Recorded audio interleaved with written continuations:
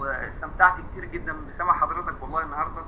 الكلام القيم جدا جدا اللي حضرتك قلته كلام يتزن بالذهب آه، حد حد جديد معانا ما حضرش امبارح؟ عشان لو ها الاخوه الأعزاء ها. حد جديد معانا ما حضرش الأمس؟ شكرا جدا أستاذة جميلة. ربنا يحفظك يا رب.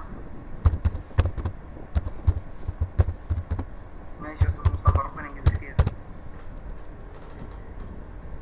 تعالوا نمر سريعا على اللي قلناه امبارح. نبتدي.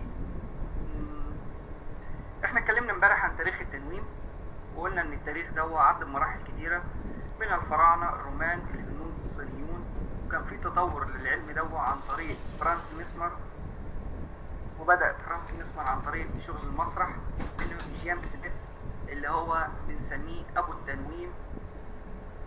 ابتدى العصور تتقدم إلى أن غير اسم المسمى على يد جيمس بريد من تنويم المغناطيس إلى التنويم بالإيحاء. آه، عوضا عنها لأن يستخدم الإنسان فيها إيحاءات والله صحيحين بس الأصح منهم الإيحاء. وده التعريف التعريف إحنا قلنا إن التنويم بالإيحاء ليه أكتر من 25 تعريف على مستوى العالم. في الكتاب بتاعي أنا حاطط 16 تعريف بس وده أفضل تعريف في ال 16 اللي أنا وضعتهم. ان مش كل الناس زي ما اتفقنا إن ممكن تخش في التنظيم 10% مستثنون من هذا الموضوع. يعني لكل قاعدة شواذ وشواذ هذه القاعدة 10% وأيضا إن ممكن 10% يدخلوا في التنويم أسرع من غيرهم المراحل البدائية. وزي ما قلنا إن إن تنويم الإيحاء ده علم قوي جدا دخل له بالسحر ولا الشعوذة ولا الجان ولا غيره. لذلك لازم نعي أن ربنا عز وجل وهبنا نعمة العلم ورزقنا إياها. فأسأل الله عز وجل أن ينفعنا وينفعكم بها. تكلمنا عن الواعي واللاواعي. وقدرة الواعي واللاواعي إن الواعي يزن إلى سبعة من سبعة زائد اتنين أو ناقص اتنين يعني أقصى حد للواعي تسعة واللاواعي اتنين مليار معلومة في الثانية. واتكلمنا عن تركيب العقل الداخلي الفص الأيمن والفص الأيسر. اتكلمنا الفرق بينهم وعملنا مقارنة بين الواعي واللاواعي. تكلمنا عن تركيب المخ الداخلي وعن مواد كيميائية يصعب الإنسان إلى الآن معرفة تكوينها ولكن قدروا العلماء أن نسبة 70% من العقل أكسجين لذلك يجب الإنسان أن يشرب مياه بمقدور عالي أو بقدرة عالية. وأن بها ذبذبات كهربائية قوية جدا أسرع سرعة اتوجدت في الكون هي الذبذبة الكهربائية التي بداخل المخ. قلنا إن أنت مولد كهرباء ماشي ربنا خلقه على وجه الأرض. ثروة ان مولد كهرباء لمدينة كاملة لمدة 30 يوم. الكهرباء للعقل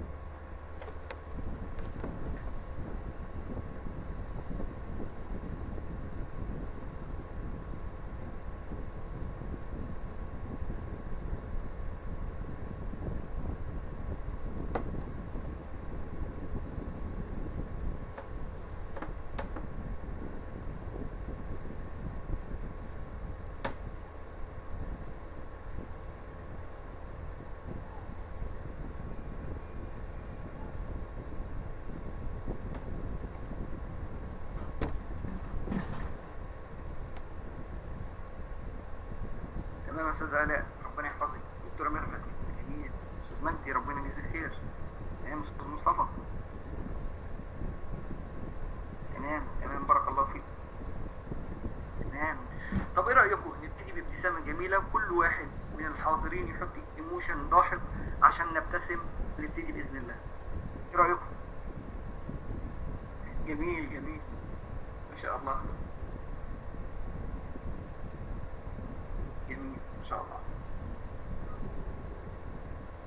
ما شاء الله تمام نبتدي باذن الله التنويم بالايحاء نوعين التنويم الذاتي والتنويم الايحائي إيه الفرق اللي بينهم هناخد واحد كده على حده وهنبتدي نفسر كل واحد أستاذ عفاف وعليكم السلام ورحمه الله وبركاته التنويم الذاتي ان أنا بدخل نفسي في مرحله تنويم أنا ببقى قاعد زي ما أنا قاعد امامكم وبدخل نفسي في مرحله الاسترخاء وباخد مرحله الاسترخاء باب افتح بيه اللاواعي عشان اخش في مرحله التنويم الذاتي هستفاد إيه زي ما إحنا اتفقنا ان التنويم ليه عاليه جدا على الإنسان في الإنتاج استيعاب وحل المشاكل زي ما هنشوف وعلاج آه كثير من الأمراض. جميل جدا. طب هو التنويم الذاتي ينفع أي حد يعمل تنويم ذاتي لنفسه؟ ممكن في حالة واحدة إن أنت تتعلم إزاي تعمل لنفسك تنويم ذاتي. هو صعب؟ لا مش صعب. إحنا بندي مرحلة التنويم الذاتي ما بعد الدبلوم. آه. لما انت هتدينا التنويم الذاتي ما بعد الدبلومة. الدبلومة إيه فايدتها؟ هنقول لكم إيه فايدتها. ينفع واحد يطلع الدور الثاني من غير ما يعدي على الدور الأول؟ ده مستحيل. تمام؟ حتى لو قلت لي باسانسير برضه أو بسلم أو ايا كان لازم شرط اساسي انك تعدي على الدور الأول. عشان تاخد الاستفادة اللي هتقدر تفيدك في المرحلة الثانية من الدور الأول. كذلك الدبلومة. لازم عشان تعدي لمرحلة مساعد ممارس إن أنت تعدي على الدبلوم المعلومات اللي أنت أخدتها إن شاء الله هنكملها النهارده. هي معلومات بدايتها إن أنت بتعرف إزاي تخترق اللاواعي عشان تقدر تدخل الإنسان أو نفسك في التنويم جميل. لو أنا ما اتعلمتش إزاي أربك الواعي عشان أخش في اللاواعي هعمل إيه؟ هضطر اقف وهقعد ساعتين عشان انام الانسان اللي قدامي. مش هينام. طيب التنويم الذاتي. نقدر نحسب له مدة عشان أقدر ادخل نفسي فيها ممكن نقول مثلا بالنسبة لواحد مبتدئ هتاخد لك من دقيقة خمس دقايق. طب واحد محترف أقل من 30 ثانية. التنويم الذاتي بالنسبة لواحد مبتدئ من دقيقة لخمس دقايق. محترف؟ أقل من 30 ثانية. ودي بتبقى بالظبط. طب لو زادت ما فيهاش مشاكل. لو زادت عن خمس دقايق بس اللي أقصده في الموضوع إن هي ما بتاخدش مدة طويلة إن أنت تدخل نفسك بالإيحاء. شرط أساسي شرط أساسي للتنويم الذاتي اقتناعك بالعلم. خلي بالكم مفيش حد ينجح في شيء إلا لما يكون اقتناعه بنسبة 100% لأن بعد كده لما تيجي على التنويم الإيحائي إزاي هتطبقه على غيرك وأنت من جواك مش مقتنع بيه؟ أنا من حوالي تقريبا ست شهور أو سبع شهور حصل لي مشكلة في قدمي. فاضطريت إن أنا أذهب ان أنا اجري عملية في قدمي. أشيل جزء عظمة من رجلي. تمام؟ الدكتور صمم إن هو يدي لي بنج أنا رفضت. فدخلت نفسي في مرحلة التنويم وخدرت رجلي بس. وابتدى الدكتور يشتغل لغاية لما خلص تقريبا ساعة وهو بقى شال العظمة وخيط وعمل كل حاجة. وأنا قاعد بتفرج عليه وبضحك. ممكن؟ ممكن. وأكتر من كده كمان. الله يسلمك. ربنا يحفظك يا دكتور. ربنا يحفظك. اذا التنويم دي قوة شديدة.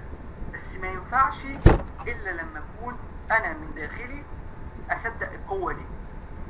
طب أنا لو أنكرتها فقد الشيء لا يعطيه استحالة تطبقه على الآخرين إلا لما أنت من بداخلك تكون مش مصدقه بس مقتنع بيه أكتر ما مقتنعك بأي شيء تاني. لذلك أي واحد بيجي لي في مركز استشارات أو بيتكلم معايا في علم التنويم أقول له أول مبدا إيه هو؟ هل أنت مقتنع بالعلم ده؟ ولو مش هيبقى عدم اقتناعه هو ما يعرفش. فببتدي أوضح له زي ما أنا بتكلم كده بالظبط وابتدي أشرح له إيه هو التنويم وإيه هي مراحل وإيه هي مشاكله وإيه هي سلبياته وإيه هي إيجابياته. ونبتدي نتكلم بالتفصيل عن كل حاجة. طيب هو اقتنع قول له تعالى اتفضل. الوقت ده نقدر ناخد النتيجة اللي إحنا عايزينها ألا وهي العلاج. جميل. طب لو أنت مش مقتنع بسلم عليك بقول لك شاكرين جدا أنا عرفت حضرتك وبقول لك اتفضل لأن ما ينفعش هتعالج نفسك بشيء وأنت مش مقتنع بيه. إزاي أقتنع لدرجة عالية؟ سهل جدا جدا جدا. المعرفة أول باب للاقتناع ما ينفعش إن أنا أقتنع بشيء أنا جاهل بيه. لذلك اقرا كتير. مصطفى أو غيره اقرا كتير في العلم ده. افتح كتب. وأنصح كتب الناس غرب لأن هم يعتبر أسسوا العلم ده على قواعد وأسس سليمه فابتدوا يحطوا القواعد دي وأنا هقول لكم أسامي علماء اللي يخش على اليوتيوب أو يخش على أي مكان يقدر يوصل أو يتواصل مع الناس دي. ناس على ثقة وعلى دراية بالعلم أعلى من غيرها من ناس تانية. كلام جميل. يبقى التنويم الإيحاء الذاتي إن أنا أطبق التنويم على نفسي. جميل. طب التنويم الإيحائي؟ آه تعالى هنا بقى. نقف وقفة. نقول لك التنويم الإيحائي ده إزاي؟ أنت تنيم الآخر. طب الآخر ده عنده قد إيه؟ ممكن خمسة ممكن عشرة ممكن طب خمسين ممكن طب ألف. طيب ممكن طب مليون. برضو ممكن. يتوقف على مدى تمسكك وقوتك وممارستك لهذا العلم هو على أساسه هتقدر تنيم الآخر. وإذا أنا كان عندي محاضرة وأنا لسه مبتدئ مبتدئ. جابوا لي 50 فرد نيمتهم لدرجة إن هم ناموا إلى أبعد أو إلى أعلى مرحلة. 50 فرد. والآن أنا لما ببقى في قاعة فيها 150 فرد. بنيمهم وببقى قاعد أنا على الكرسي وأكني بلعب أو أكني بهرج ليه؟ إن الحمد لله حب لهذا العلم وصلني إن أنا أتمسك بيه وأستمتع وأنا شغال بيه كمان متعتي في الحياة العلم دوت. لذلك بنصح أي إنسان في أي مجال حب مجالك جدا. حبه لدرجة إنك تتمسك بيه بكل قوة. دافع عنه. لكن غير بتعصب دافع عنه بحب. دافع عنه بعلم بفهم ثقافة. إن مفيش حد في الحياة بيتمسك بباطل جميل. تعالوا بقى نخش الجزء الثاني تطبيقات التنويم في الإيحاء. مبدئيا العلماء لما حطوا التطبيقات دي إحنا هنتكلم على كل تطبيق وإزاي بنستخدمه فيها أو إزاي النتائج بتاعته. اخش في التطبيقات أنا كان جات لي مريضة غريبة جدا عندي المركز. المريضة دي أنا شفت التحاليل والاشعه بتاعتها صحيح 100% طب عندها إيه؟ عندها أزمة قلبية العناية المركزة. فالدكاترة أيقنوا إن هي ما عندهاش أي حاجة. هي مشكلة نفسية بحتة. طيب جميل. جبتها؟ دخلتها في مرحلة تنويم عرفت المشكلة بتاعتها حليناها. الحمد لله بقى لها أكتر من سنتين ما بتجيلهاش آه. لذلك قوة التنويم عالية جدا. ممكن جلسة عشر دقايق تخلي تغير مجرى حياتك كامل. فاحنا هنتكلم عن تطبيقاته سريعا. دي.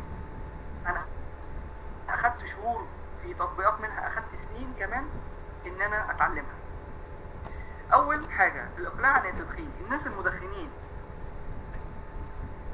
الناس اللي بيعشقوا التدخين هو التنويم ممكن يخليني أبطل سجاير؟ ممكن. أبطل أي نوع من التدخين؟ ممكن. طب هياخد معايا قد إيه؟ بالظبط بالظبط. ما يزيدش عن ثلاث جلسات. الجلسة نص ساعة. يعني ساعة ونص. صعب؟ لا مش صعب. طب انت بتدي للمريض أدوية؟ ما بديش أي نوع من الأدوية نهائي. طب انت بتعمل إيه معاه؟ أنا زي ما اتفقت معاكم إن أنا بدخله في مرحلة تنويم والتنويم ده بيغير مجرى حياته بيغير الاعتقادات أو الثقافة الداخلية للعقل. فبيبتدي يستجيب معانا. طيب السكر الدم النفسي. في ناس كتير ربنا يحفظك يا شلبي ربنا يجازيك خير. في ناس كتير عندها السكر الدم النفسي. لو رحت للدكتور هو اللي يشخص يقول لي أنا عندي سكر دم نفسي بسبب ارتفاع الضغط زي ما هنجيله طيب جميل. ده ممكن يتعالج؟ بإذن الله بيتعالج. النتيجة بتاعته 95% من النتائج ايجابيه طب والسلبي بتاعه؟ إيه اللي هيحصل؟ مفيش من التنويم أي نوع من أنواع الضرر. نهائي. أهلا بك يا مستشار محمود. أهلا بحضرتك.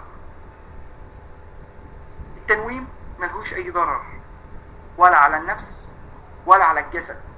إلا إذا استخدم أو استخدم استخدام بسلبي أو بطريقة غير صحيحة أو عن طريق إنسان غير متخصص زي ما هنعرف ارتفاع ضغط الدم النفسي تقريبا كده تقريبا نص أو 70% من شعوب العالم بتعاني من الضغط النفسي بسبب الأحداث الأخبار أو الكورة أو ايا كان الأحداث اللي بتضغط على الإنسان. الوقت ده بنيجي نتصدم نفاجئ إن الضغط عالي علينا فعايزين علاج فنبتدي نخش في دوامة الكيميكال والأدوية. نفاجئ إن إحنا إحنا مرضى ضغط مش نفسي. بقى جسدي. تمام. هنيجي بقى عند الحتة الجميلة اللي مش كل النساء كل العالم يبحث عنها السيطرة على الوزن. خلي بالكم أنا لما جيت اتكلمت ما قلتش إنقاص. لأن أنا قابلت كتير. عايزين يزيد وزنهم. زيادة الوزن لحد ذاتها كارثة. ونقصان كارثة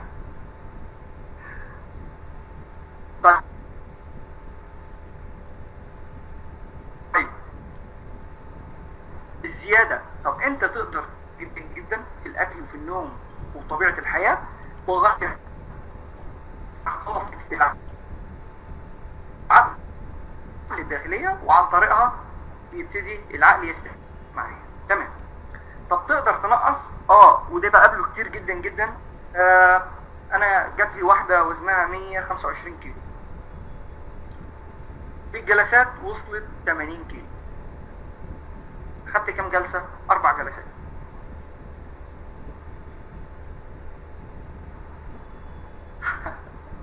ربنا يجزيك خير يا رب. انقاص الوزن. آه نقدر ننقص الوزن. طب أنا عندي نقصان الوزن أنا عايز أنزل وزني بس ما بحاول بيأس. أقول لكم على حاجة كده جميلة وسريعة. عايز تنقص وزنك أو وزنك اعمل حاجة واحدة بس. ابتدي غير عاداتك السيئة اللي إحنا بنعيش فيها معظم حياتنا عادات سيئة لو قدرنا نظبط العادات السيئة خدوها مني ثقة هيتوزن الوزن تحريك الوزن. ودي بفضل الله أول ما نتكلم عنها في الشرق الأوسط. إزاي أحرك الدهون من مكان لمكان؟ ممكن؟ ممكن والحمد لله عملتها. حركنا 5 سنتي من فوق نزلناهم لتحت. كان حد جات لي مريضة رجليها رفيعة جدا. فكانت مشكلتها في الحياة إن هي عندها عدم ثقة وشكلها هي بتتكسف تمشي بس فابتديت انزل من الوزن ده من فوق لغاية تحت كام سنتي وبعد كده ثبت الوزن وبعد كده لغاية النهارده الوزن ده ما اتحركش. خلي بالكم أنا مش بقول قصص ألف ليلة وليلة. أنا عارف إن في ناس كتير ممكن ما تصدقش.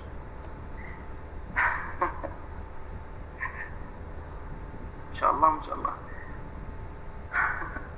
أستاذ عفاف ربنا يحفظك يا رب. لا آه بجد الكلام ده مش كلام خيال أو كلام آه روايات أو كلام الكلام ده كلام علمي صحيح مثبت بأبحاث علمية. مش أنا أول واحد أتكلم فيها بس يعتبر ابتديت أول واحد أنقل العلم ده عشان يستفاد بيه العرب والمسلمين كلهم. تنورونا يا أستاذ ربنا يحفظك يا رب. يبقى اذا دي جزء من تطبيقات التنوين. طب والإحباط والقلق والأرق كل ده كل ده. هنيجي بقى عند الحتة الكبيرة قوي اللي أنا لعبتي واللي أنا بستمتع باللعب فيها ألا وهي ربط المعدة بالإيحاء. لازم نقول إن ربط المعدة الله يفتح عليك يا مستشار ربنا يحفظك يا مستشار. كلام جميل ورائع والله. بالظبط بالظبط كلام موزون وجميل جدا. ربط المعده بالإيحاء. ينفع أنا ربط معده بالإيحاء؟ ينفع. كلام جميل. هو أنت لما بتعمل ربط إيحاء بال ربط المعده بالإيحاء بتستخدم أي أدوية أو أي عمليات أو أي جراحة؟ لا طبعا. أنا أي علاجاتي ما بلمس المريض نهائي مهما كان شدة وقوة المرض. لازم تكون الحالة سليمة مرضيا طبعا. ربط المعدة ممكن أي حد يعمله.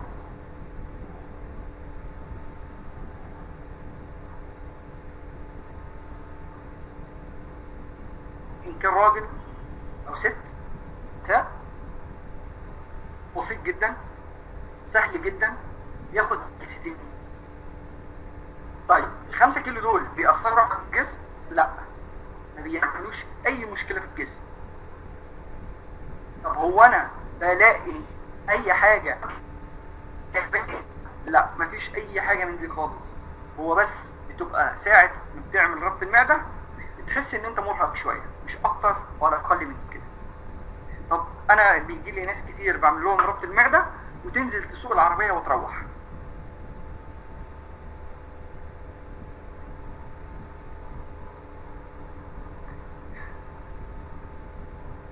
ما شاء الله عليك. ربنا يحفظك فايزة ربنا يحفظك يا رب. فربط المعدة شيء ممتع جميل. ما فيهوش أي أي مشاكل أي أعراض جانبية. بالعكس مفيد جدا. وبالذات اللي, ماسك مصروف البيت بتلاقي اللي بياكل 5 6 كيلو بتلاقي ياكل كيلو بالعافية. فدي بتبقى مصلحة برضه ماديا برضه يعني بصراحة. دي بالنسبة تطبيقات تنوين. دي بس؟ لا في حاجات تانية. آه. الفوبيا بجميع أنواعها. بالظبط أستاذ في توفير الفوبيا الفوبيا هي الخوف الزائد عن الحد.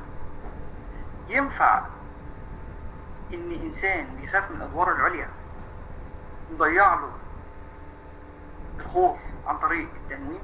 ينفع. طب هتقعد قد إيه؟ بالظبط 10 دقايق. 10 دقايق بالظبط كفيله إن هي تضيع الخوف نهائي. جميل. أي نوعها أي نوعها جميل. نخش على بعضه تخفيف الألام. تخفيف الألام ما بعد العمليات ما أي نوع من الألام إصابات مشاكل اللي بتقابل النساء دايما. الشهريه برضو الآلام بتاعتها مفيش مشاكل.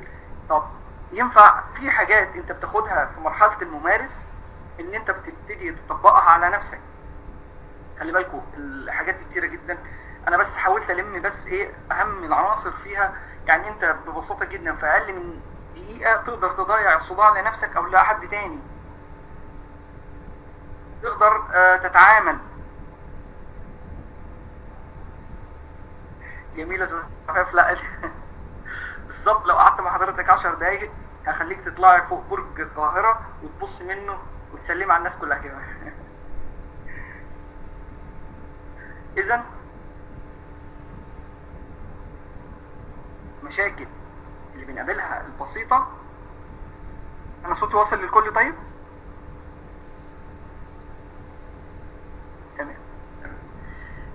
تمام مشاكل بسيطة كالصداع الآلام الحاجات دي أنت بتتعلمها في مرحلة الممارس وبتبتدي تطبقها على نفسك والآخرين.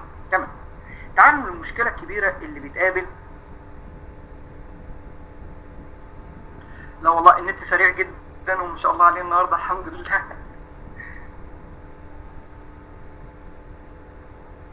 تمام. اللي بنقابلها على مستوى العالم؟ السرطان أو الكانسر. جات لي مريضة من حوالي سنة ونص تقريبا عندها ال cancer. ال cancer ده كان منتشر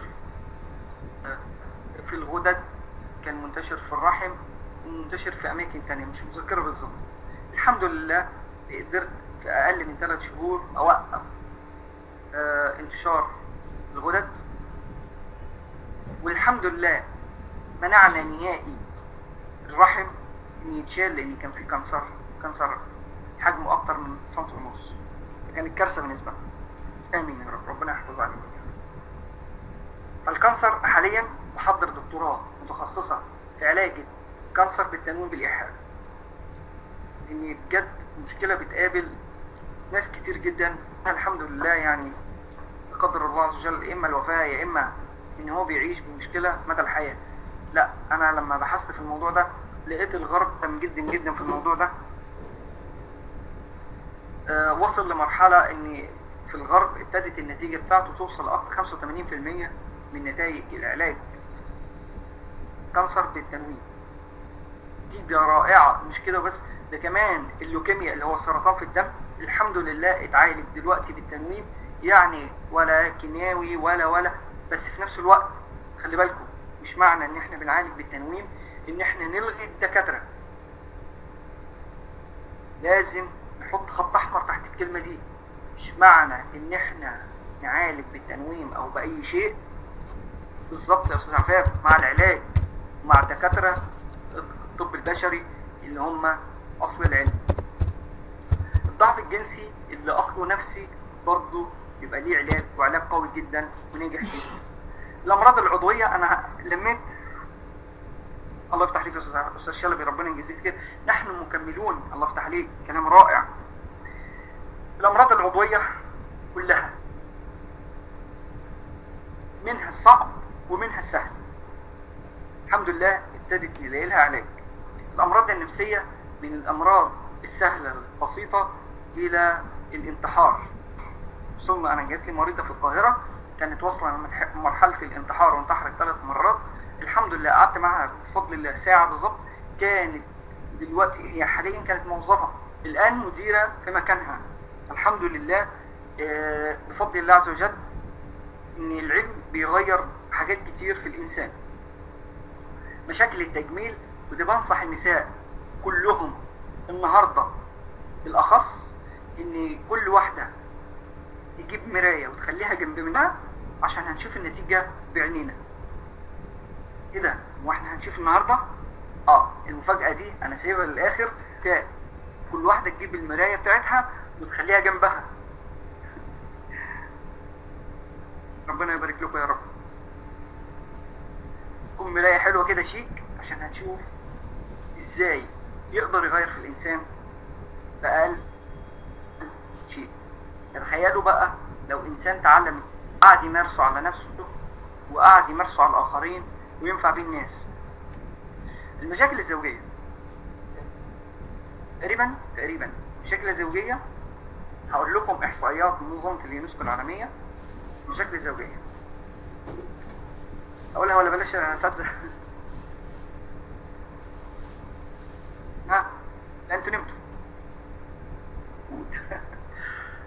أعلى نسبة طلاق وخلع في العالم في الوطن العربي.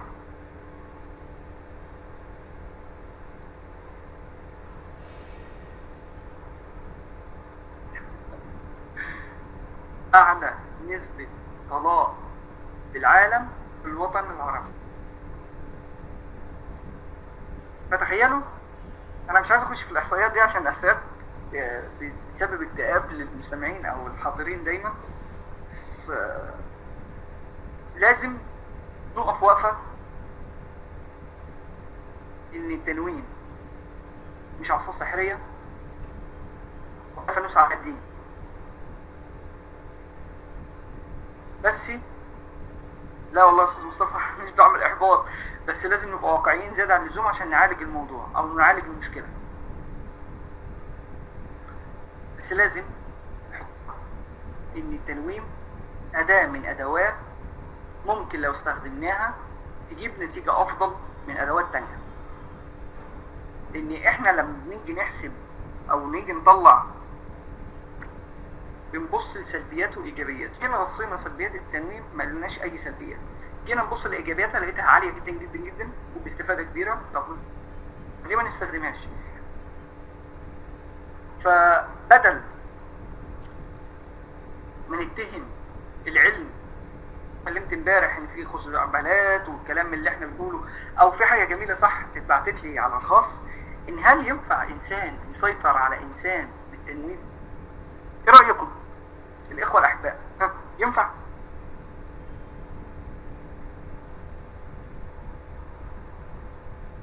ينفع إنسان يسيطر على إنسان سيطرة كاملة؟ لا أنا عايز الإجابات تمام يا أستاذ عفان. جميل. ها أستاذ مصطفى جميل. مين تاني؟ ها؟ عدم الرد إن بمعنى أه ينفع بنسبة 100% تمام. يمكن. ها جميل. حد تاني؟ أنت نمتوا صح؟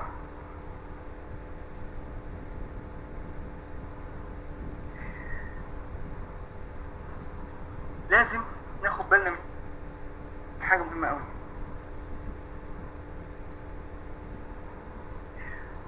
هعيد السؤال تاني يا أستاذ عهد. تمام. ينفع إنسان يسيطر على إنسان بنسبة 100% أو يقدر يتحكم في إنسان؟ ينفع؟ ينفع بني آدم يكون يغير مجرى حياة إنسان تاني؟ جميل يا أستاذ مصطفى. بالظبط أستاذ عفان ما ينفعش. طب ينفع بالتنوين تقدر تقرأ عقل الآخرين؟ بالتنوين بالإيحاء. أيوه تنوين بالإيحاء. الناس اللي معايا لازم يفوق شوية. تمام.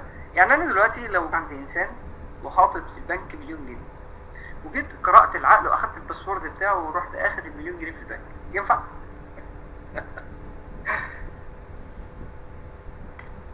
المبدعون. آه ينفع؟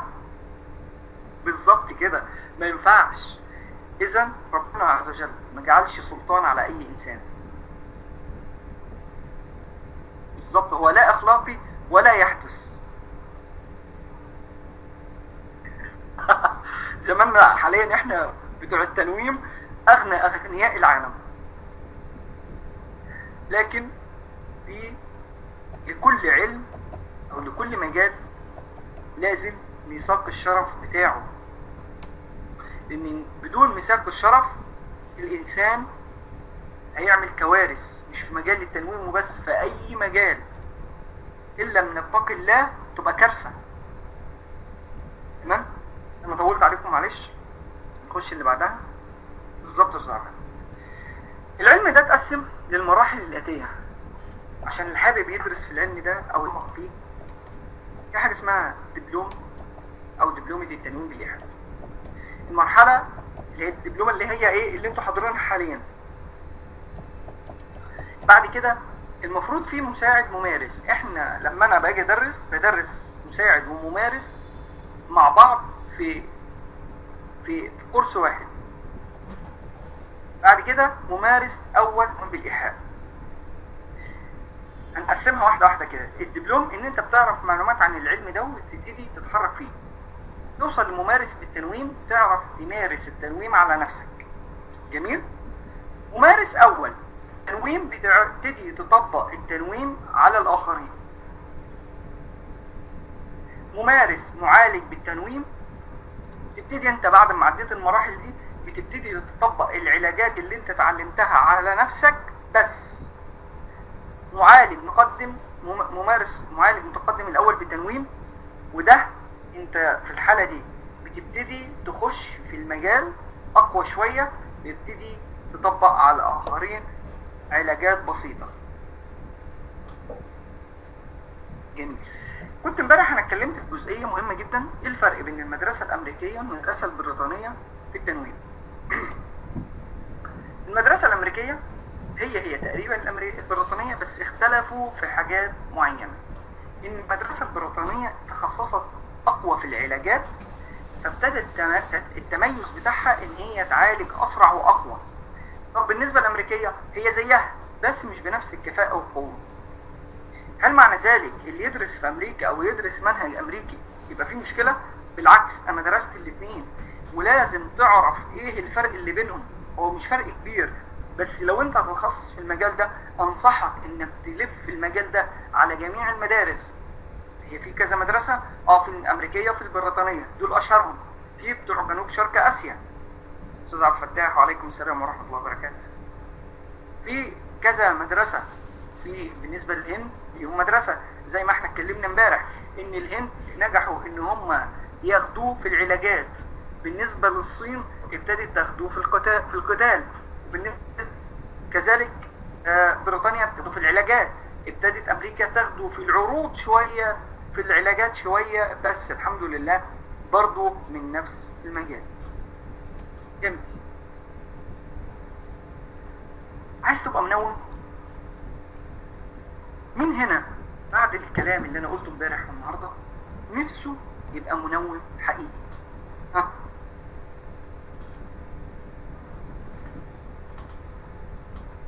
بالظبط يا مستشار محمود بالظبط. مدربة آلاء ما شاء الله.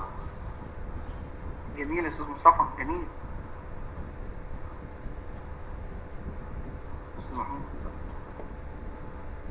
نعم جميل ما شاء الله. الحمد لله إن هطلع بمنافسين اقوياء أستاذ شلبي أنت أستاذنا. يا رب ربنا يبارك لك. ربنا يحفظك يا رب.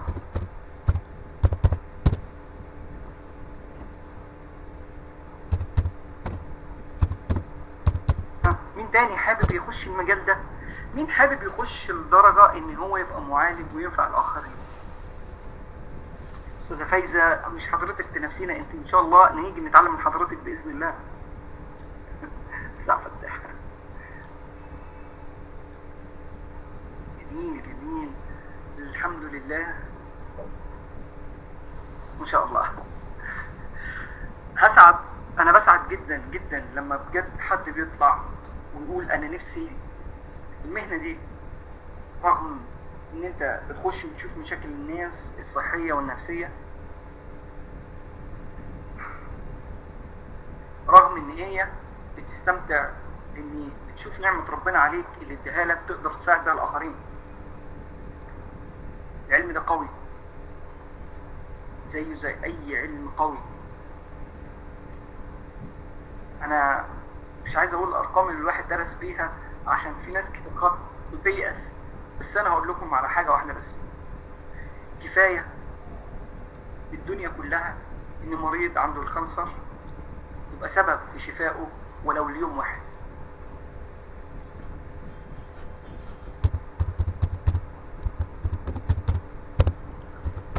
الحمد لله على نعمة الصحة. يا رب التوفيق للجميع إن شاء الله يا رب. فانصح أي إنسان حابب يخش المجال ده. يبتدي يجدد نيته لوجه الله عز وجل ويستعن بالله. المجال جميل ولذيذ. تقابل فيه حاجات كتيرة قوي حاجات جميلة جدا جدا. حاجات أنت بخيالك ما تتخيلهاش ان ممكن تحصل. بس صدقوني العلم ده قوي. وقوته في النية الخالصة لوجه الله في مساعدة الآخرين. بالظبط أستاذ فايزة. إصرار. بالظبط. تعالوا بقى نخش ونشوف الصفات دي. لازم يكون عندك ذو خلق وحفظ الأمانة وكاتب للأسرار خلي بالكم أنا النهاردة أو إمبارح لما جبت أمثلة. أنا ذكرت اسم حد. ها؟ الإخوة الأعزاء ها؟ أنا ذكرت اسم أي حد جالي في المركز أو قلت عليه؟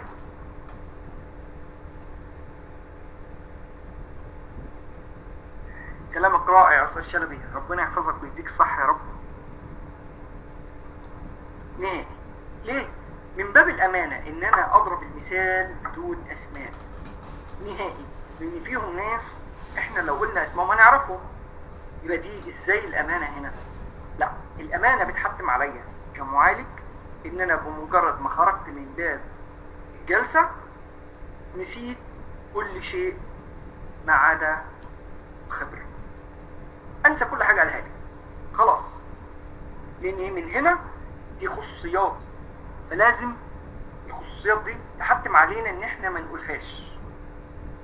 لأن اللي جاي ده ممكن هتقابلوها كتير إن جاي واحد مخصوص عشان يتكلم معاك يسمعك عايز حد يسمعه. أو في مرض هو مخبي على الدنيا كلها ما ينفعش أنت تيجي تقوله. يبقى لازم تكون كاتب للأسرار. مفيش بني آدم يعرف عن إنسان تاني أي شيء حتى لو هو شيء بسيط.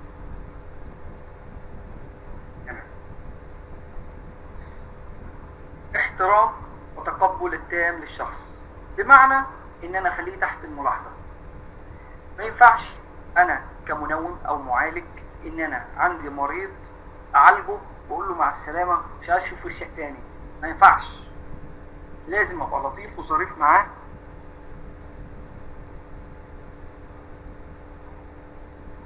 ربنا يحفظك يا أستاذ عفاف ربنا يحفظك يا رب.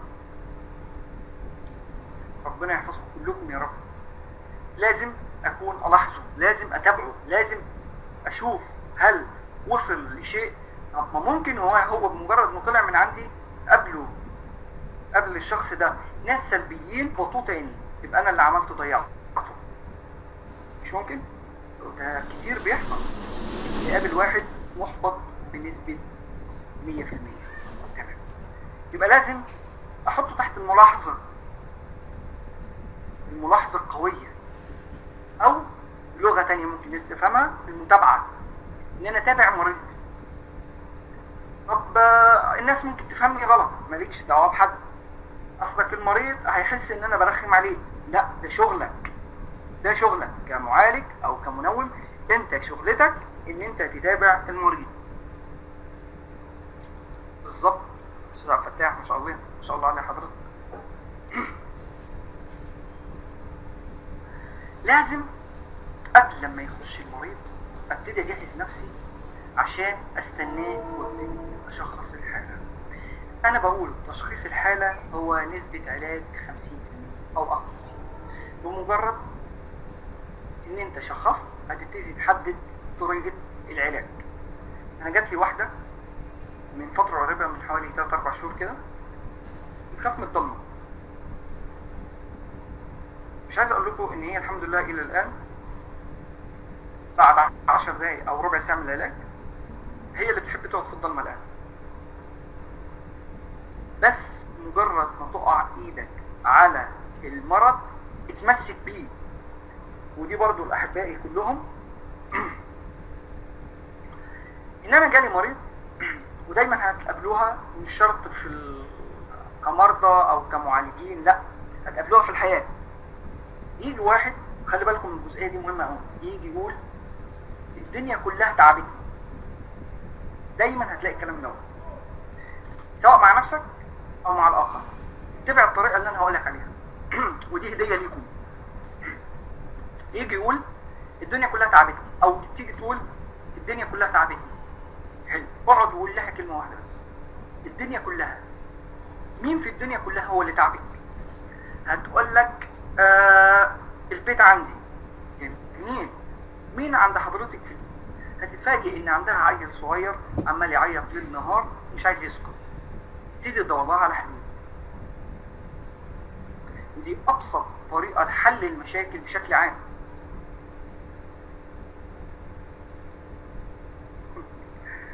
تمام أستاذ عبد الرؤوف. فإذا لازم لما يجيلك إنسان بيتكلم ويعمم كل شيء ابتدي قصص معاه. طب حضرتك شايف إيه اللي بيضايقك في البيت؟ لا أصلك أنا والله بتضايق إن التلفزيون صوته عالي. هتتفاجئ إن كل المشكلة صغيرة جدا جدا جدا. وأنت وانت قاعد معاه حاول تدور له على حلول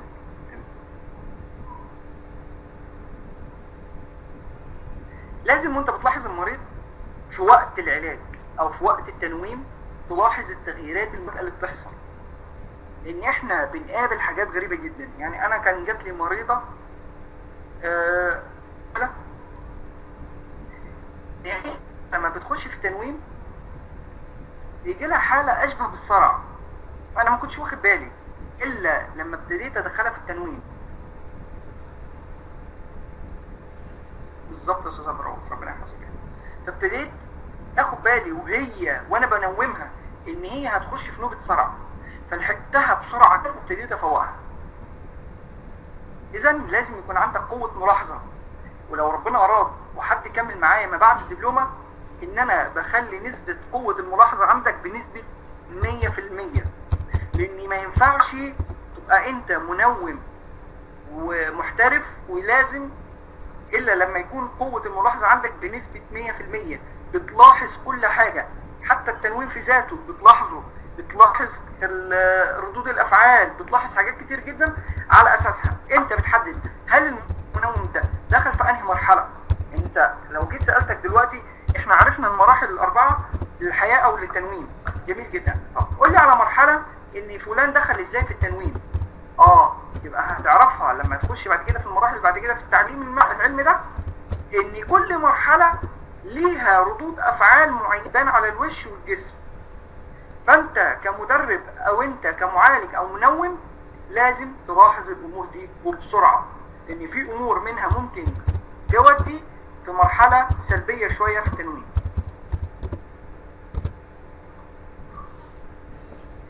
بالظبط يا أستاذ فتاح بالظبط ما شاء الله عليك. تمام. يبقى نخش كده يا أستاذ شلبي والله كلامك رائع. ربنا يجزيك عني خير يا رب. لازم أنت كمعالج أو منوم لو أنت حابب تخش في المجال ده لازم تكون هادي جدا جدا جدا. لازم تكون بتتحكم أعصابك قوي طول ما أنت نايم أو داخل في التنويم أو بتنيم حد لازم يكون الاسترخاء هو طبيعة حياتك أصعب شيء يقدر توصله كمنوم أو كمعالج انت تعصب. أنت تخيل أنت لو أنت بتتعصب وداخل تنيم حد هتنيمه إزاي؟ صعب صح؟ فلازم ملاحظتك وفي نفس الوقت بعد ما تلاحظ تبتدي تاخد بالك إن أنت اللي عصبي مش هو اللي عصبي فلازم نعمل كنترول على أعصابنا تحكم في أعصابنا. طيب أنا وصلت لمرحلة أعلى. أنت مستحيل مستحيل توصل لمرحلة إن أنت تنام حد إلا لما تكون أنت في ذاتك تقدر تتحكم في أعصابك. عشان تعمل control قوي على نفسك مش هتقدر تقدر تعمل control على الآخرين. لأن زي ما اتفقنا فاقد الشيء لا يعطيه لازم تتعلم المهارات الجديدة والأساليب الجديدة العلاجيه في التنويم إلى الآن ربنا يحفظك يا أستاذ عفاف إلى الآن أنا لسه طالب علم وليس عالم أو دكتور. أنا بقول دكتور لأني أخذت الدكتوراه فيها بس إلى الآن طالب علم. العلم لن ولن يتوقف مع أحد.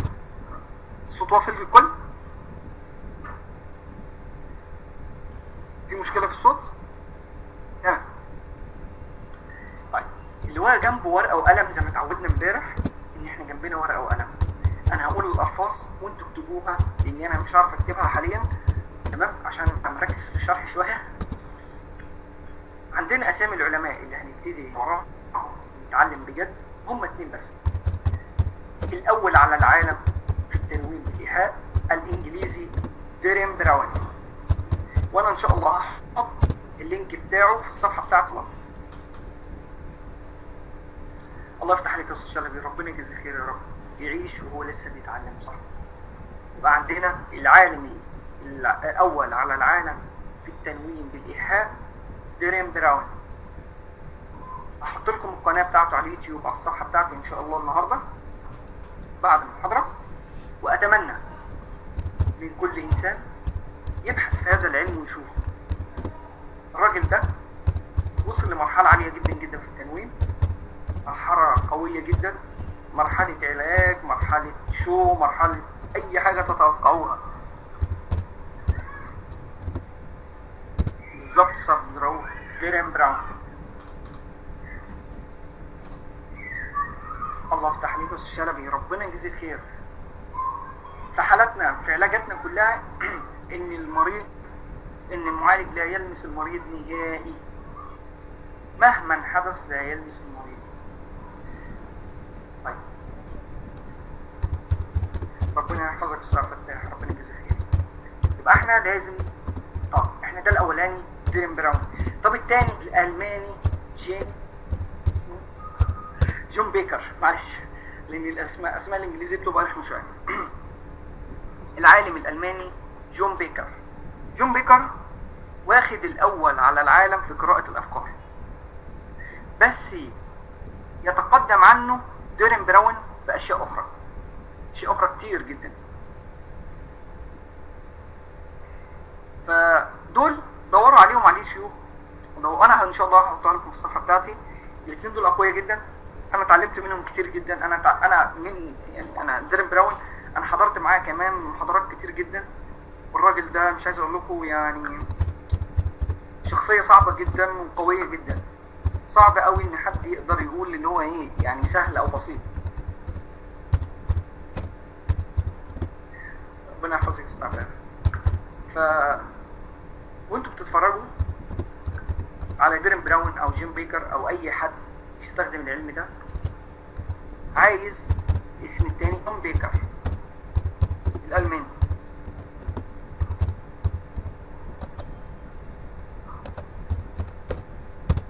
لا جون جون بيكر جون. أنا هحط لكم اللينكات بتاعته إن شاء الله في الصفحة بتاعتي النهارده.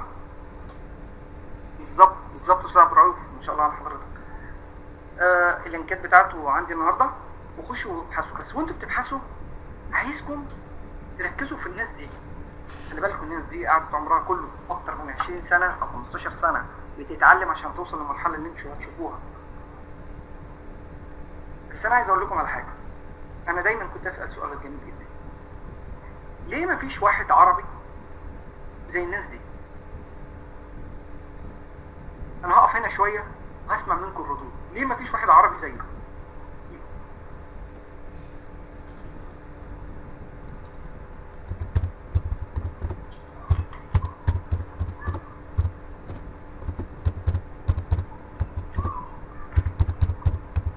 أستاذ عهد هحط أستاذ عهد آه ان شاء الله بتاعتي كلام جميل يا أستاذ عفاف. أنا ما رضيتش أتكلم على ميلتون إريكسون والكلام ده لأني هنخش في العلم شوية بس أنا لما بتكلم عن ميلتون إريكسون خلي بالكم أنا بتكلم عملي مش نظري بس لأن هطبق حياه ميلتون إريكسون اتعلمناها في كتبه والناس علمتها انها قوية جدا واستيعابها العملي أعلى من النظري جميل جميل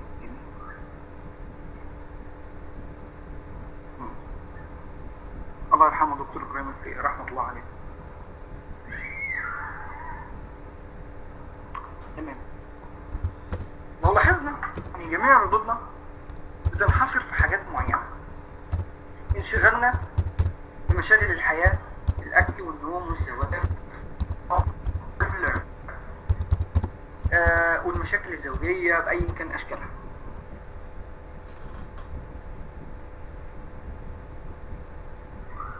طب آه صوت بيقطع عند حد تاني؟ ولا ولا أستاذ عهد بس؟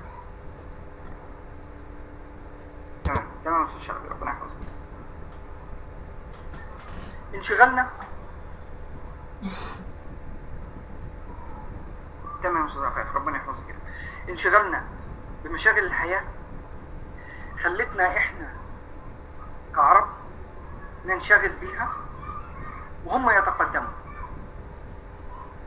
بنفسينا إن إحنا نشتغل عشان نتجوز نشتغل عشان ناكل نشتغل عشان نشرب مشاغل الحياة التي لا تنتهي.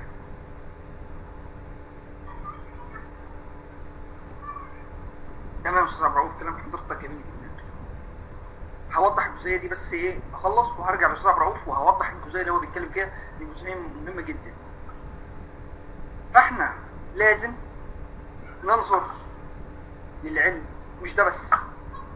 نظرة قوية وبانفتاح شوية. أنا مش بقول إن إحنا نتعدى الحلال والحرام معاذ الله. بس إن إحنا ننظر للعلم ناخد منه اللي يفيدنا ونترك اللي يضرنا. أما إن إحنا نسيب كل حاجة ونقعد مهلكين أو مستهلكين علم ده غلط. فهم بيتقدموا بياخدوا الأصلح ليهم وإحنا بنقعد نتفرج عليهم.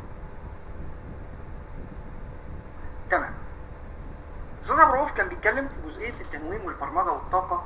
العلوم دي أنا اتكلمت فيها امبارح علوم قوية جدا في مجالاتها المختلفه معانا أستاذ شلبي وأستاذ عفاف متخصصين في الطاقة ودكتورة إيناس طبعا أستاذة الطاقة في مصر وفي الشرق الأوسط. العلوم دي لو اتضمت لبعضها بتبقى قوة محدش يتخيلها.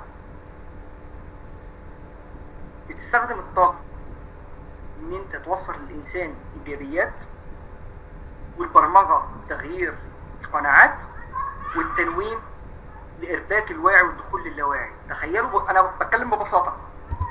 ان الموضوع أعقد من كده شوية بس أنا بتكلم جزئيه إن أنت إزاي تجمع الثلاثه ببساطة.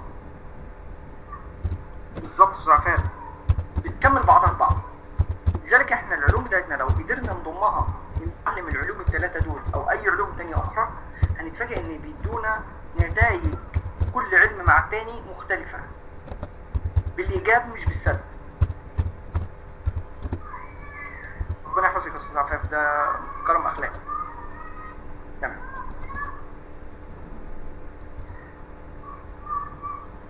حد امبارح دور على كتاب للتنوين بصراحة كده ها؟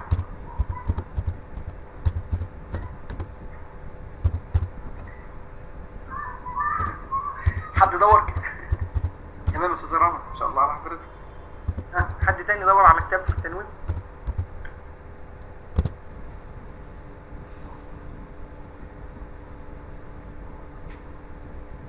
ما شاء الله على حضرتك أستاذ عفاف. أنا؟ تمام. إن شاء الله إن شاء الله. الله يرحمه ورحمة الله عليه. تمام أستاذ عبد الفتاح؟ تمام. لا. طب والباقي؟ ها؟ الباقي؟ إيه رأيكم نعاقب الباقي ونخليهم يحطوا ايموشن ضاحك عشان كلنا نبتدي نبتسم ونكمل؟ إيه رأيكم؟ ألف سلام على حضرتك أستاذ مصطفى. جميل ان شاء الله. جميل أيوه كده. ما شاء الله. كلكم طاقة إيجابية. ما شاء الله عليكم.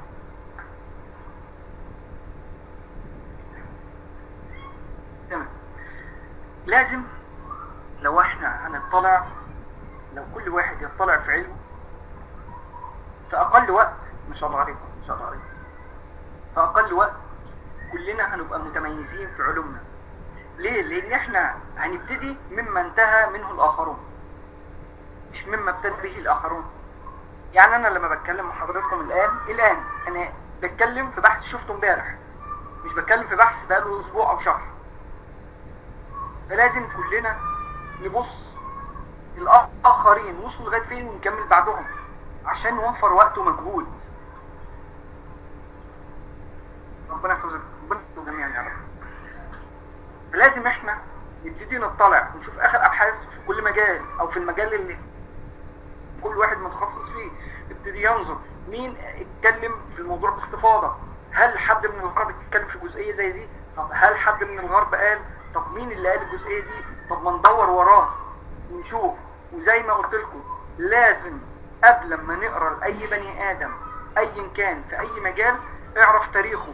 اعرف مجاله جاب تخصصه منين؟ زي ما قلنا امبارح. ليه أنا بقول كده؟ ان ممكن تتفاجئ بعد سنين طويلة إن اللي أنت بتقرأ له ده أصلا هو مش موجود.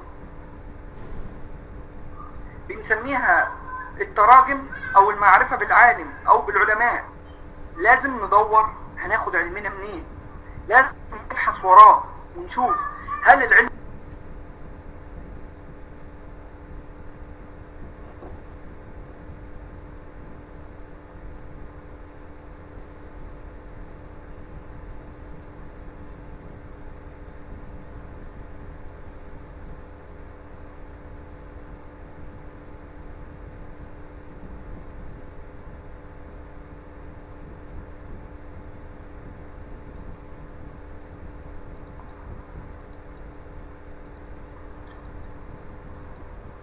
لازم تبقى صادق مع نفسك.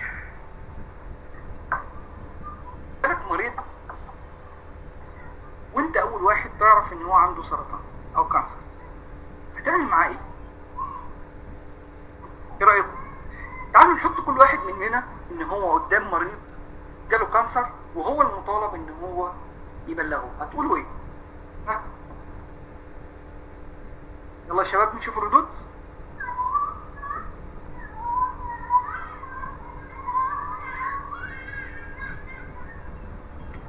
إيه محدش هيبلغ الراجل ولا إيه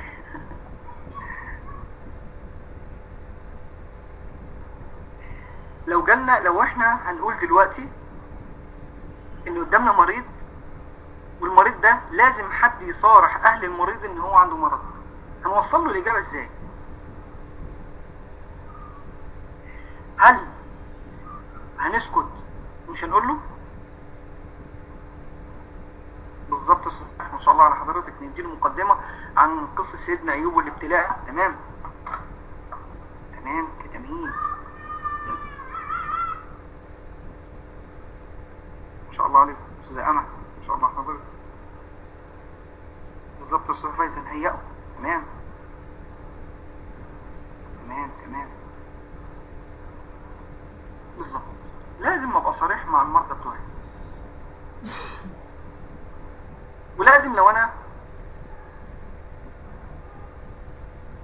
بالظبط ما شاء الله عليك. بالظبط. إن أنا هبتدي اوصل له بس بطريقه جميله امهد له يا إما بقصه يا إما بحاجة بسيطة أقدر أوصلها له. بس لازم أقول له.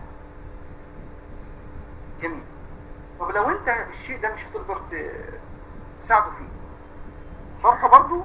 ولا هتقول له آسف جدا ونعمل سبع صنايع بخت ضايع زي ما بيقولوا عندنا في مصر وإحنا فاهمين في كل حاجة؟ لا طبعا. أنا بقولها لكم لازم تبقى صريح مع نفسك تبقى صريح مع الآخرين في تشخيص المرض.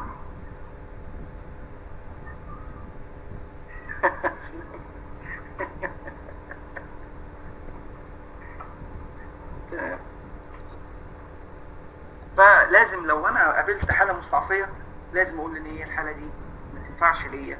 وأبتدي أنصحه وأوجهه التوجيه الصحيح. حقيقة في الظرفات بتحصل. بنوجهه التوجيه الصحيح اللي أنا هقدر ولو أنا مش هقدر أبتدي أرفع من روحه المعنوية وأديله طاقة إيجابية عشان يقدر يتواصل مع الحياة إلى أن يكتب الله له الشفاء بالظبط صح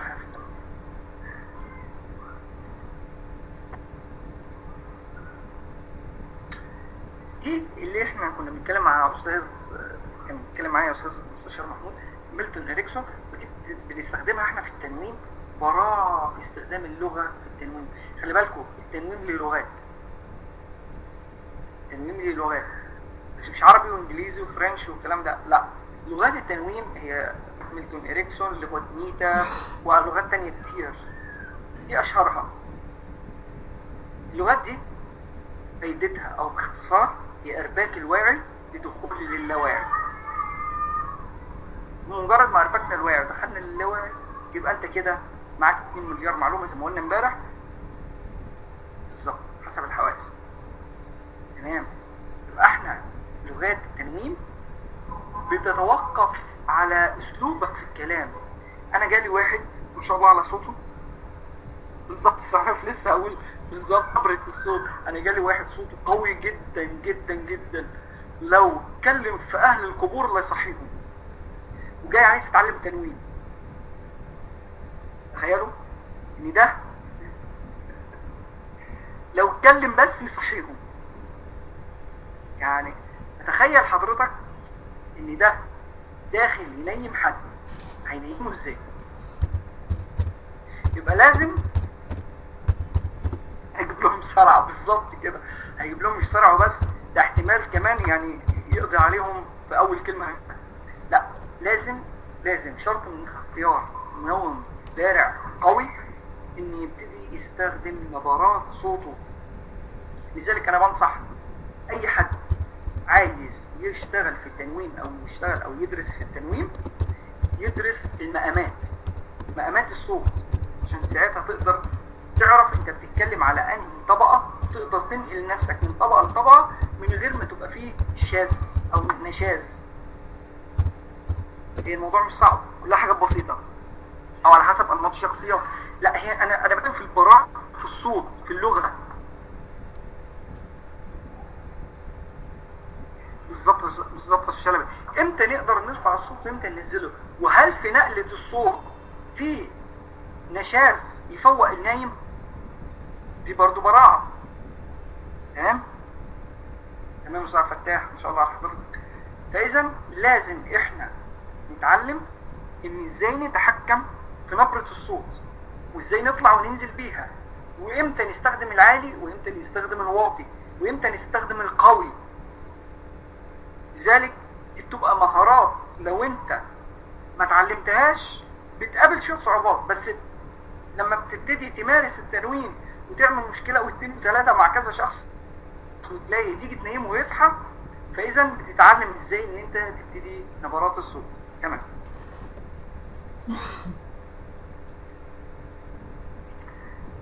أستاذ لا هي تملك من الأدوات كتير مش الصوت بس والله. ربنا يحفظ أمهاتنا كلهم يا رب. نموذج التنويم النموذج دي المفروض إن إحنا بندرسها من أول مراحل الممارس أو مساعد الممارس بس أنا بديها هدية لكل اللي معانا وكل اللي بيستمع لينا إن إزاي أحط المنوم في استعداد. تمام؟ طب هتقول لي أنا أنا هنايم حد؟ طب أنا هخليه يستعد إزاي؟ أنا بقول لك الحاجات دي عشان تبقى جاهز إن أنت في أي وقت لو اتعلمت التنويم تبقى أسرع من غيرك لانك اتعلمتها قبل غيرك. تمام؟ يبقى هنبتدي إزاي نوصل بالتنويم إلى أعلى مستوى؟ أول حاجة لازم اهيئ نفسي وهيئ المريض نفسيا. التهيئة النفسية دي لازم حتما لو ما حطيناش الإنسان في التهيئة بنتفاجئ إن هو بتلاقيه يشمئز يسيب المكان ويمشي. تحصل آه بتحصل يعني إحنا امبارح تكلمنا عن طاقه الألوان ومش عارف ما ينفعش أجي أقوم جايب واحد عشان أنيمه في مكان فيه كهرباء. آه كمبيوتر وتلفزيون ومش عارف وأجهزة هنا وأجهزة. ينفع؟ لا ما ينفعش. ليه؟ إن كل الحاجات دي بتشوشر على الإنسان.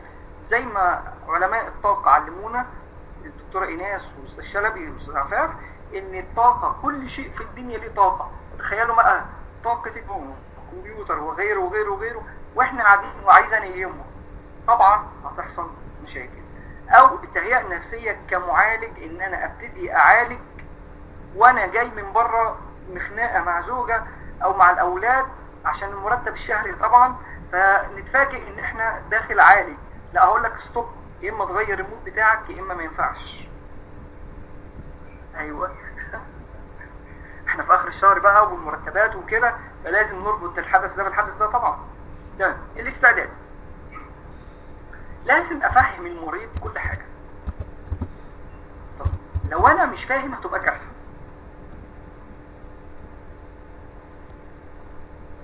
ربنا يحفظ ليبيا وأهلها يا رب. آه لازم أستعد أنا نفسيا والمكان وهيئه وافهمه إيه اللي هيحصل بالظبط. طيب خش على المكان. لازم ما يكونش فيه ألوان غامقة. ما يجيش أنا أحطه في مكان أسود وأقول له أنا هنيمك. زي جالي واحد قال لي نام. قعد في أوضة تقريبا كده متر في متر. أو متر في مترين. طب ده هينام فين؟ ده إحنا بنخش بالطول ما بنعرفش نقف. طب هننامه إيه ده؟ فلازم أختار المكان المناسب تهوية مناسبة ولازم أسيب المريض وأسأله إيه رأيك في المكان؟ لا هو مش شرط هو قاعد بس الأفضل هو قاعد زي ما هنتكلم في الوضعية دلوقتي. آه أنا اسأل المريض ربنا يحفظك يا الشلبي شرف. ليا كبير والله.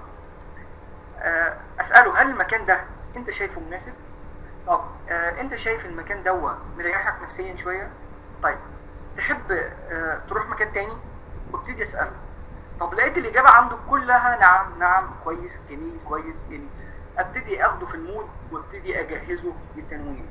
الوضعية. إحنا كمبتدئين إحنا بنتكلم في وضعية التنويم وهو قاعد. في أوضاع تانية أوضاع كتير.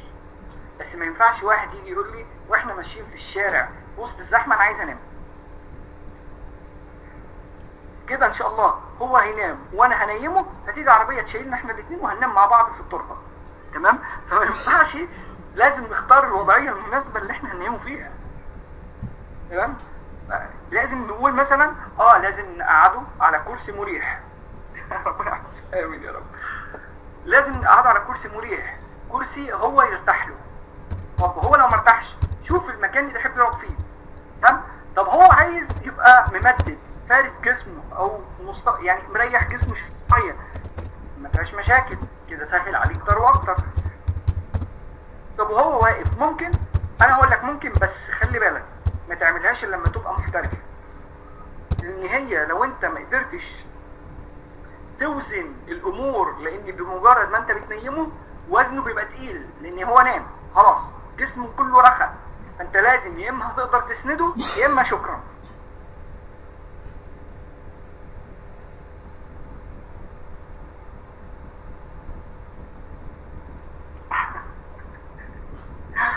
آه والله بس شلوي صح والله. جات لي واحدة وزنها 130 كيلو. قالت لي لازم تنيمني وأنا واقفة. يا ستي مش هينفع. إلا لازم تنيمني وأنا واقفة. هو إن أنا لو نمتك وانت واقفة هاجي اسندك هفطس هموت أنا كده خلاص يعني انتهينا تمام؟ فلازم برضو ننقي الايه اللي هو إيه؟ نعادل الأمور شوية. ما اجيبش حد وزنه تقيل جدا. هو مش عيب إن وزنه تقيل. لا عادي إحنا ممكن نخسسه ما فيهاش مشاكل. بس اللي أقصده إن ما ينفعش وهو واقف عشان ما يقعش مني أو يحصل له أي مشاكل بسبب الموضوع دوت تمام محظورات التنويم وهنا بندق جرس الخطر التنويم في حاجات معينة. معنى ندق جرس الخطر إن إحنا مش هنعمل. بس زي باين عليك دخلت متأخرة جدا. إزاي ننقص الوزن؟ طب أنا مش هقول لك هخليها مفاجأة ليك لما تسمع تسجيل المحاضرة. تمام يا أستاذ ريم تمام يا أستاذ. كلامكم رائع والله. محظورات التنويم. التنويم في حاجات مش هينفع نعملها أو ننيم حد طول ما هي موجودة. تمام؟ بصوا إحنا هنقولها يعني هنبطأ فيها لأن هي فيها يعني كلام ممكن يتشابه مع حاجات تانية. إحنا هنفصلها بالتفصيل شوية. الشخص فاقد الإدراك اللي هو المغير. اللي هو مين؟ السفيه. اللي عنده مشكلة إنه بيغمى عليه. اللي عنده حالة نفسية. ما ينفعش ندخلهم أو الأحمق. تمام. هو الأحمق والسفيه والسفيه ممكن يمشوا زي بعض ما فيش مشاكل. فما ينفعش نيجي ننيم زي واحد جالي. يعني إلى حد ما عنده نسبة مرض شوية. فانا عايز أنام. فابتديت أدخله في تنويم. فأول ما ابتديت أقف أنا وابتدي أتحرك وعشان ابتدي أتكلم جنبه ابتدى خش في نوبه ضحك رهيبة. لأن هو ما يعرفش اللي بيحصل. تمام؟ لو أنا ما أخدتش بالي إن هو عنده مشكلة ما إيه اللي هيحصل؟ هعمله مشكلة عنده في العقل فده غلط. فلازم اذا ما ينفعش إن أنا أجيب واحد مغيب سفيه أحمق عنده مرض زي التوحد أو عنده أمراض نفسية. يعني إيه حالة نفسية؟ يعني عنده مرض زي التوحد زي غيره كتير من امراض النفسية. المرأة الحامل ممكن آه طبعا ممكن ده في لندن بيولدوا بالتنويم حاجة جميلة جدا خلي بالكم. المرأة الحامل ممكن بس المحترف ما ينفعش أي حد ينيمها. مفيش مشاكل. بالعكس ده كمان ده موضوع الحمل ده بيبقى مشكلة شوية إن هو أنت ممكن نحرك الجنين من غير أي استخدام أي شيء. ودي بنستخدمها في المراحل المتأخرة عند الولادة لما بيبقى في مشكلة في الولادة بدل القيصري أو العمليات. تمام. الغير مؤمن بالعلم. زي ما إحنا اتفقنا ما ينفعش نجيب واحد هو مش مقتنع بالعلم ولا بالعلماء ولا بجزئيه التنويم خالص تحاولش اوعى تحاول معاه. بس خلي بالك يا محمد انت قلت من شوية إن في واحد زي ديرن براون وجون بيكر الناس دي صعبة قوي. لا الناس دي ليها مقاييس ثانية الحمد لله الحمد لله. اتحطيت في المقاييس دي على مستوى العالم. بس أنا بتكلم كدب إحنا بنتكلم في جزئية الدبلومة. إن ما ينفعش إنسان غير مؤمن بالعلم إن إحنا ننيمه. طب لو أنا اتعلمت وصلت لمرحلة عالية ممكن الموضوع ده؟ ممكن. بس بيحتاج منك ممارسة قوية جدا.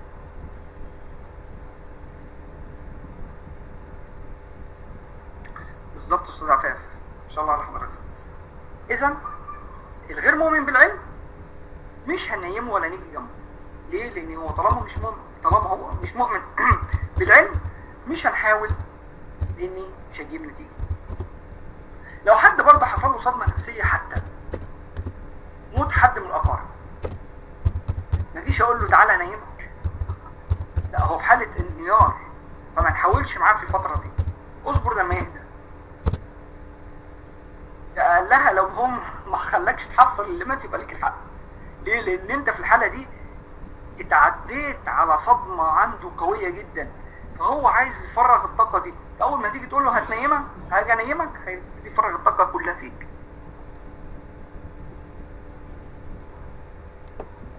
بالظبط يا أستاذ شلبي. لازم الرغبة القوية للعلاج. لازم لازم لازم لازم لازم لازم. ونقعد نقولها المليون مرة.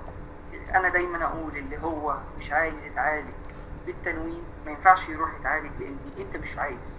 لازم يكون عندك رغبة قوية جدا إلى أبعد الحدود عشان تساعدني لأني أنا زي ما قلت لكم أنا مش معايا عصا سحرية على الدين. أنا بستخدم فضل من ربنا عز وجل إن ادانا العلم ده كأدوات بنستخدمها مع المريض فهو يساعدني وأنا أساعده. بالظبط يا أستاذة جميلة. ربنا يحفظكم يا رب. الشخص العنيد الطبع. دول العنيد الطبع ده يتحط من في المية اللي هما ما بيناموش. العنيد خلي بالكم العنيد ده درجات. أنا بتكلم على أعلى درجة في العند أو واحد جاي بيتحداك. أنا مش هنام ومش هتقدر تتعامل معايا حاجة. خلاص يا سيدي مش هنيمك. تمام؟ طب اقتنع. لا أنت ما تحاولش تقنعه لأن أنت لما تيجي تبتدي تقنعه أنت بس عليك تفهمه مش تقنعه ابتدى يستوعب كان بها لأن في واحد إنسان يجي تقنعه هو رافض إن يسمع. لذلك ربنا عز وجل خلاها قاعدة لمن كان له قلب أو ألقى السمع إن هو ابتدى يسمعك. فطالما ابتدى يسمعك هيبتدي يتقبل منك الفكرة. طب هو عنيد ومش عايز يسمعك ما تحاولش معاه. تمام؟ صاحب الحس المرهف. المفروض إن نقول إيه؟ صاحب صاحبة الحس المرهف لأن معظم أو الإحساس المرهف دائما عند النساء. طب أنا أي كلمة جميلة للنساء مفيش ايموشن ضاحك ليه حتى؟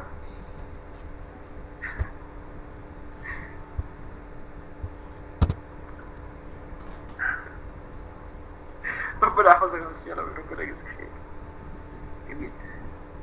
يبقى اذا الإحساس المرهف ممكن تيجي تدخلها في تنويم لا في العياط. دخلت في كريزة مشكلة في العياط. ساعتها أنت مش هتقدر تسكتها. فمن الأفضل إن أنت ما تحاولش معاها تنيمها إلا لما تفهمها وتقتنع وإن هي تبتدي تقول لك أنا هساعدك في التنويم. من ساعتها تبتدي أنت تحاول معاها. أو لما يستخدم التنويم من قبل واحد مش محترف. وده بيبقى خطير جدا خلي بالك.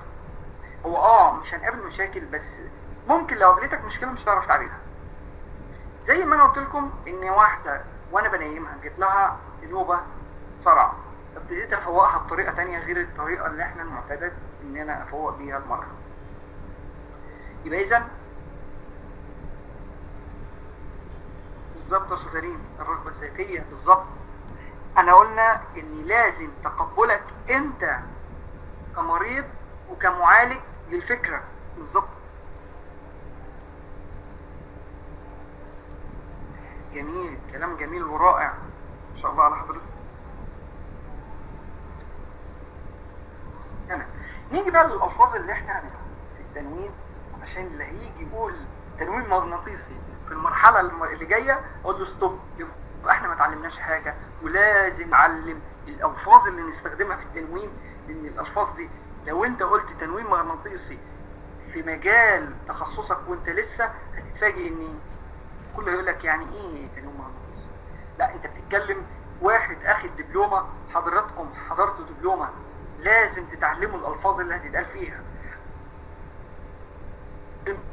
المنوم اللي هو أنا اللي بنيم أنا بتخيل منوم. أنا اللي بنيم يتقال عليا منوم لذلك انت هتلاقيها في الكتب العلمية كتير. لذلك أنا حطيت الألفاظ دي المفروض إن أنا ما أحطهاش أصلا إلا في المراحل اللي بعد كده لأن بتبتدي الناس تقرأ في كتب التخصص. بس أنا حطيتها عشان أنتوا تبتدي رجليكم تتحط على أول درجة في العلم إن أنتوا تبتدي تبحثوا في الكتب. ما فيهاش مشاكل يا أستاذ ريم إن يقول مغناطيسي أو إيحاء بس عيب قوي حد حضر دبلومة ويقول تنويم مغناطيسي.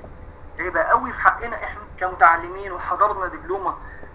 الله أعلم عجبتكم ولا لأ بس على الأقل فيها الألفاظ نقدر نحكم الألفاظ. ما ينفعش إن أنا بعد زي دي أقول تنويم مغناطيسي وقدرت أميز إيه هو ده وإيه هو ده وإمتى اتقال تنويم مغناطيسي وإمتى قال تنويم بالإيحاء. بالظبط. المستفيد. دايما الله يحفظك يا أستاذ رنا المستفيد هو الإنسان اللي أنا بنيمه. ربنا يحفظك يا أستاذ أسماء. المستفيد. أنا بقول عليه مستفيد لأن هو اللي بيستفاد من جلسه التنويم دايما هنلاقي كلمة لفظ المستفيد. شكرا يا أستاذ رنا. شكرا يا أستاذ عبد الرؤوف. ربنا يحفظكم يا رب. كلمة المستفيد أول ما تقابلنا اعرف إن هو يقصد الإنسان اللي رايح ينام أو عنده مشكلة عايز يعالجها. بنسميه المستفيد. hypnotherapy hypnotherapy هو العلاج بالتنويم بالإيحاء.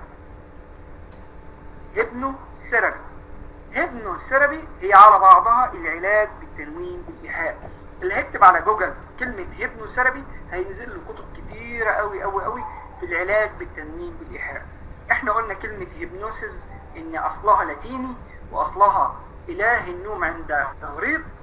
اذا عرفنا إن هيبنوسيس هي علم التنويم بالايحاء الاقتراحات الاقتراحات الحاجات اللي أنا بقولها للمريض وهو لسه هيبتدي هينام. بقترح عليه أشياء. هل تحب كذا؟ هل تحب كذا؟ دي نوع من أنواع الاقتراحات.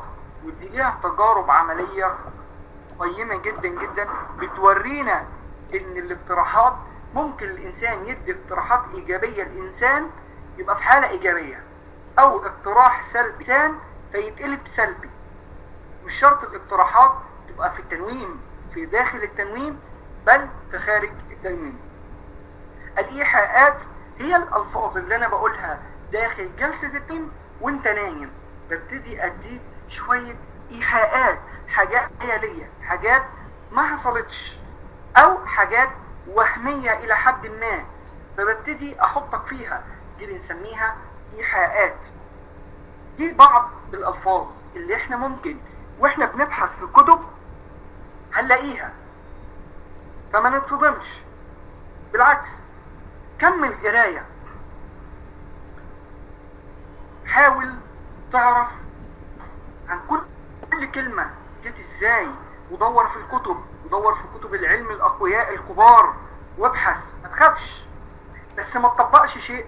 إلا لما تكون على يد حد متخصص عشان تتعلم الممارسة الصحيحة عشان ما تبقاش مسؤول عن إنسان ممكن بدل ما تيجي تفيده تعمل له مشكلة أو تضره.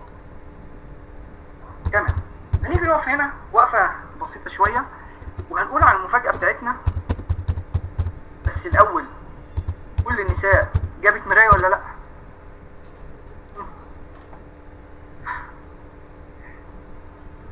بالظبط يا أستاذ شلبي أنا محافظ عليها. ها؟ نعم امم أستاذ ريم ها؟ حد جاب تاني مرايات؟ يس. سلام يا أستاذ مصطفى. ده إحنا نجيبها لك لغايه عند حضرتك والله. لا طبعا الرجالة والنساء بس أنا بخص بالنساء لأن مرهفات الحس لازم تشوف أداء التنويم وجمال التنويم في وقتها. جاهزين؟ مفاجأة النهارده إن إحنا هنبتدي نعمل جلسه تنويم أونلاين ونادرا اللي بيحاول يعملها أونلاين. بس قبل ما نبص قبل ما نخش في التنويم عايز كل واحد جنبه مراية يشوف وشه فيها كويس قوي ويحفظ شكله كويس قوي. أنا بس عشان هوريكم إن التنويم هيبتدي يغير من درجة لون الوش ونضارة الوش.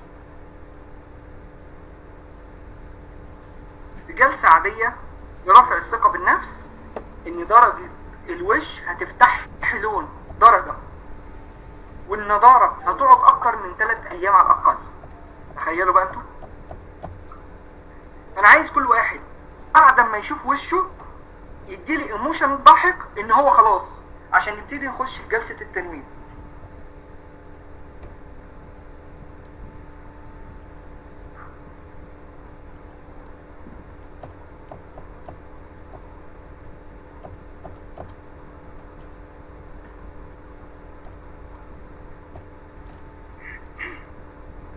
جميل جميل ها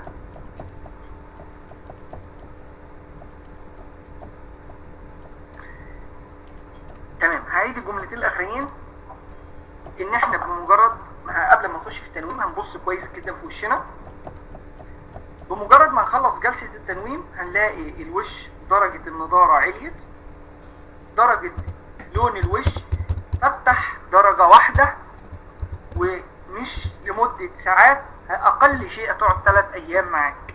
مدى اقتناعك بالعلم وجلسة التنويم دي؟ على أساسه هتلاقي النتيجة اللي أنا بقول لك عليها. أستاذ هشام هي مسجلة بإذن الله. تمام. هطلب من كل الحاضرين إن يسيبوا الكيبورد ولوحة المفاتيح تماما ونرجع لورا ويبتدي كل واحد يسمعني من غير ما نيجي جنب لوحة المفاتيح نهائي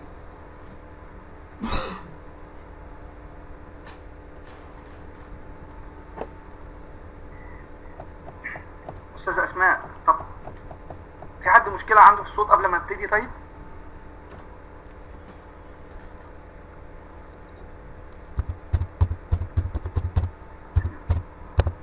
تمام جميل تمام يبقى شوف المشكلة عندك يا أستاذة ممكن يكون ممكن حضرتك تسجلي خروج وترجعي تاني يكون الصوت واضح بإذن الله. أو تشوف المشكلة في النت عند حضرتك. تمام تمام. بالظبط يا أستاذة جميلة. هتسمعوني بس. تمام. هنبتدي بقى نسيب لوحة المفاتيح كلنا.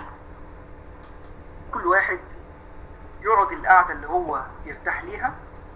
يسند ظهره لورا.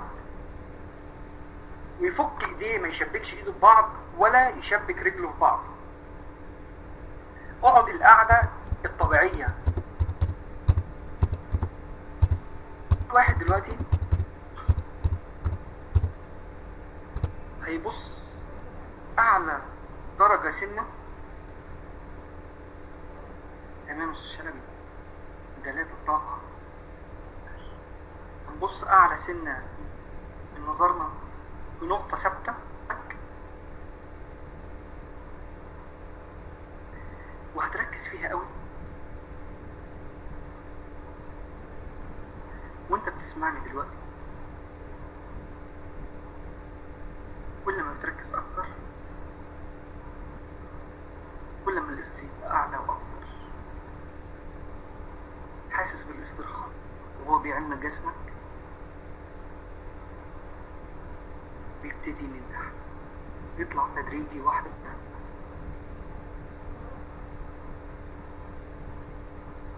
في هدوء في راحة. كل ما بتركز في النقطة دي أكتر. كل ما الاسترخاء بيزيد عشر أضعاف.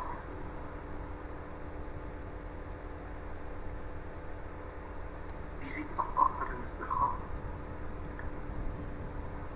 بتحس عينك ابتدت تتقل شوية بشوية.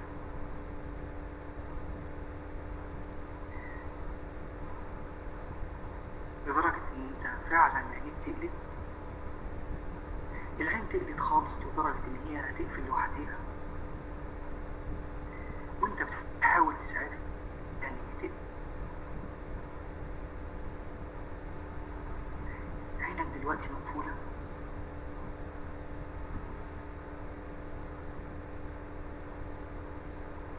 مش سامع صوت خالص ولا صوتي. مش حاسس بأي حاجة غير إحساسي بيك. هتبتدي تمشي معايا واحدة واحدة. هتتخيل إن أنت واقف قدام باب أبيض كبير. الباب ده أنت عارفه كويس؟ شفته قبل كده. هتبتدي تفتح الباب. هتنزل السلمة الأولى الثانية السلمة الثالثة هتبتدي تمشي خطوات قدامك باب جميل انت عارفه كويس باب أبيض هتمشي خطوة خطوة قدام لغاية لما توصل للباب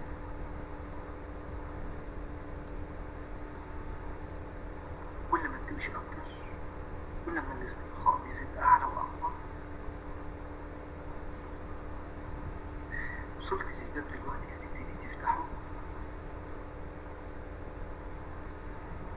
لقيت منظر جميل لبحر قدام عينك شايفه هتبتدي تمشي خطوات وانت رجلك بتدوس على الرمل البحر الجميل حاسس بسخونة الشمس في الرملة سامع صوت البحر شامم ريحة البحر الجميلة بص للسما لقيتها صافية وجميلة تبتدي تقرب شوية بشوية لغاية لما توصل للمية حاسس بهدوء انت بتسمع صوت المية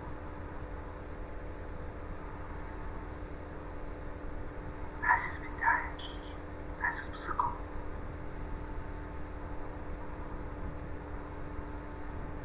تبتدي تتحرك على البحر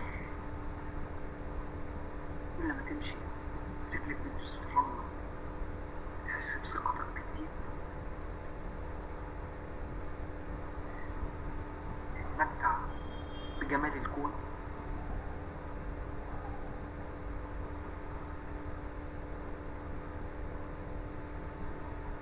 هتبتدي تمشي خطوات شوية لقيت منظر بعيد جميل. شجر وورود هتبتدي تمشي خطوات لغاية لما تبتدي توصل لها كل ما تمشي خطوة كل ما تزيد سعادة وفرحة أكتر بتزيد ثقتك في نفسك. بتقرب أكتر. وأكتر لغاية لما بتلمس ورد الجبين اللي انت عارف لونه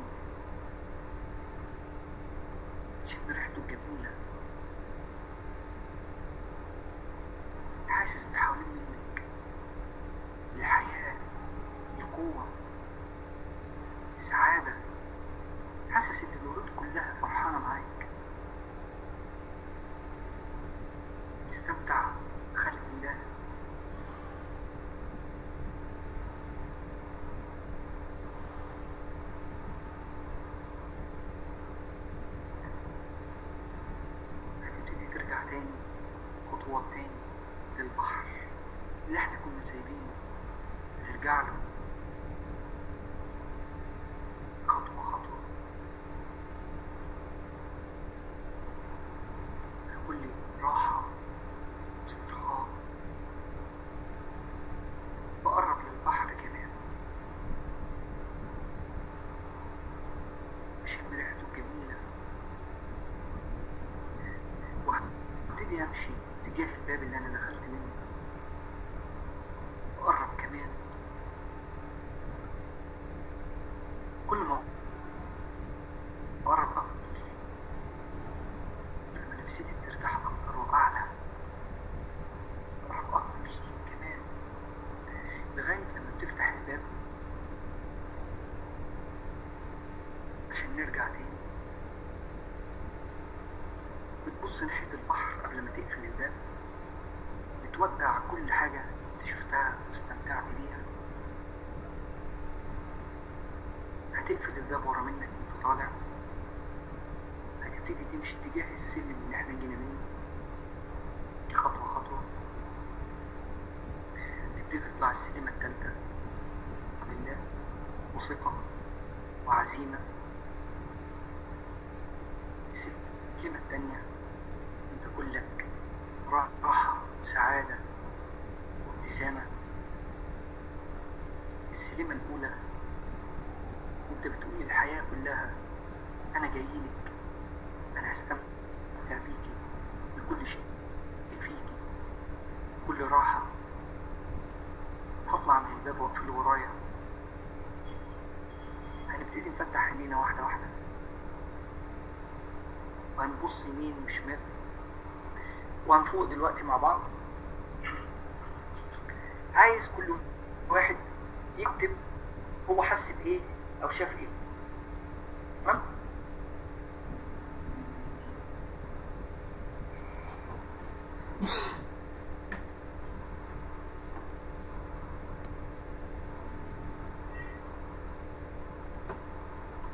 إيه لسه نايمين ولا إيه؟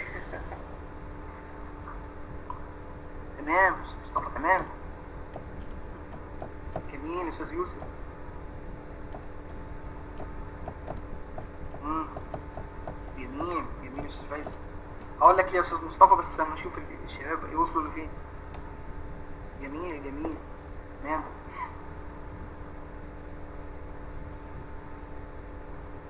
ما شاء الله يا أستاذ تمام. ما شاء الله يا أستاذ أسماء ما شاء الله عليكم.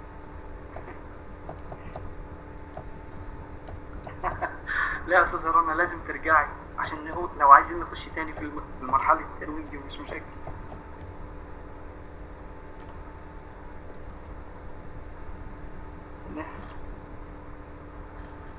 إن شاء الله أستاذ محمد. تمام مساء الفتاح أستاذ أحمد.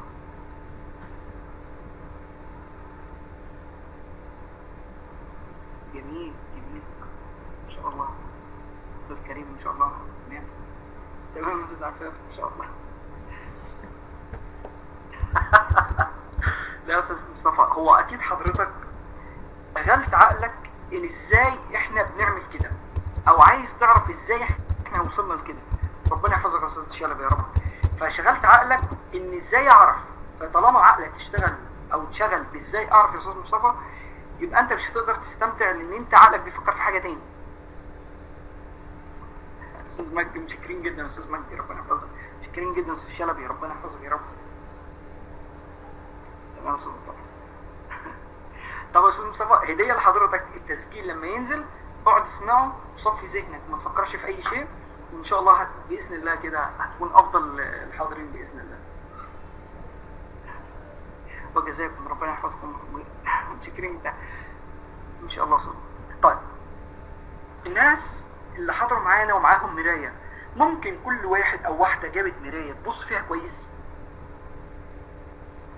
وتقول لي إيه رأيها؟ شاكرين جدا أستاذة عايدة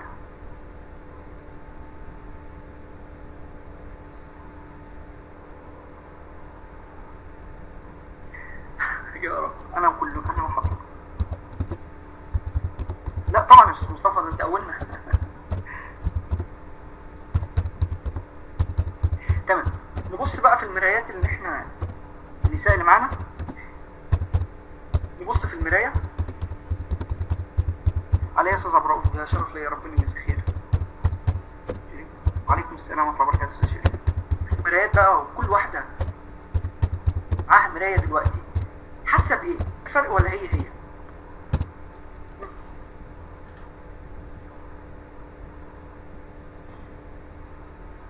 آه ثلاث درجات ما شاء الله ما الله.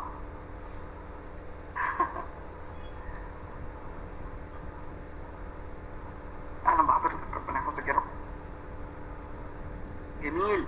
دي بيسموها النضارة. الاحمرار ده بيسموه نضارة.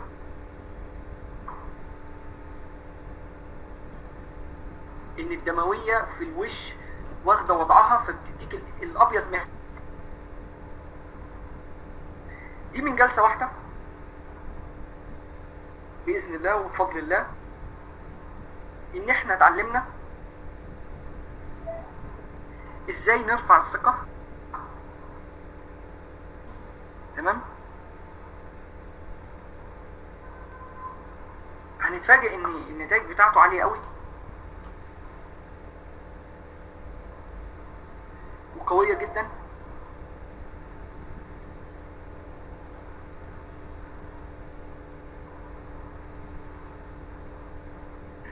لا يا أستاذ مصطفى ما ينفعش. سامحني. عشان دي أمانة لازم هسأل عليها قدام ربنا. لو حضرتك دخلت في تنوين حضرتك أو حد أو حسيت هتكتب لي تقول لي حسيت بكذا. بس طالما أنا مش معاك فسامحني. أنا مش هبقى مسؤول عن زي زي كده. فعشان كده بقول للناس عشان نقدر نعمل جلسة تنويم زي دي.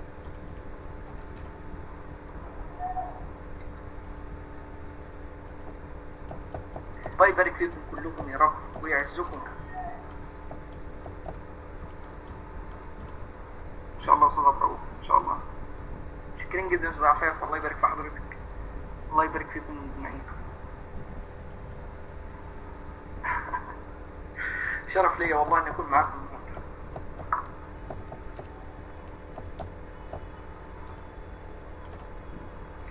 طيب اسمحوا لي اي حد عنده اي سؤال تمام الله يبارك فيك يا أستاذ عفاف. ربنا يحفظك يا رب. ربنا يجزيك خير. ده شرف ليا والله. كلام جميل ده. شكرا جدا يا أستاذ عبد الرؤوف. ربنا يحفظك. شكرا جدا يا أستاذ ريم. إزاي نقدر نقرأ كتاب في وقت صغير جدا؟ إن شاء الله قريب جدا. هنعمل جميلة جدا جدا. إزاي تقرأ كتاب؟ بسرعة جدا. زي القراءه السريعه أو القراءه التصويريه أقل وقت تحفظه بسرعة جدا. أما عشان نتكلم فيها دلوقتي هيقعد لها مش أقل من ساعة ونص أو ساعتين لأن هي ليها تقنيه لا أستاذ المستوى التاني إمتى؟ لا الإجابة دي عند الاستاذ شلبي أو الأستاذ عفاف ان شاء الله بالظبط سليم الموضوع مش صغير انت عايز تقري يعني ممكن نحفظ كتاب ساعة ونقرأ كتاب